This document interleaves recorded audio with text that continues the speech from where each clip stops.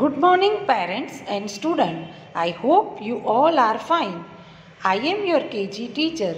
Today we are going to learn how to write small alphabet U and its sound U. Let's start writing of small alphabet U. U sound Y. Make a standing line in two blue line and a small curve U Y. Make a standing line in two blue line and a small curve U year. U sound Y. U sound Y.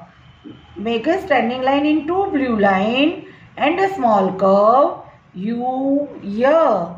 Make a standing line in two blue line and a small curve U sound Y. U sound Y.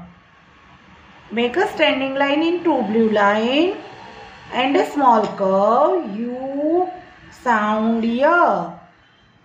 U sound here.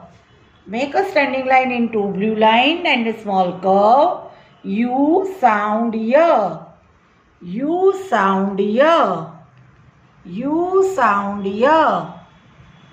Make a standing line into blue line and a small curve U Y.